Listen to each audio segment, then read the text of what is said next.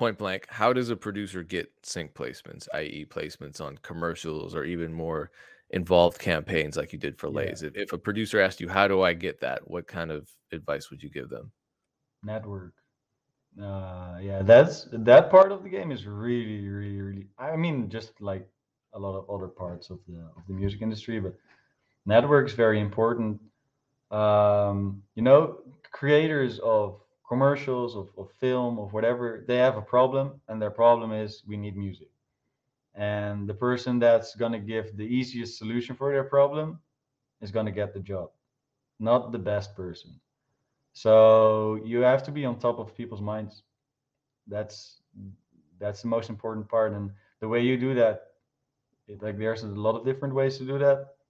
You can join a company that's like actively pursuing getting in contact with these people. Like you, you can you can get in touch with like a, a publishing sync company which really focuses on getting their music on MTV or whatever. Uh, or you can network yourself, get your get your foot uh, in the door, like in like media agencies. Like go to maybe go to the conferences uh, where these kind of people go. Not nec- not even necessarily for music, but they might still be looking for music. So that could be something.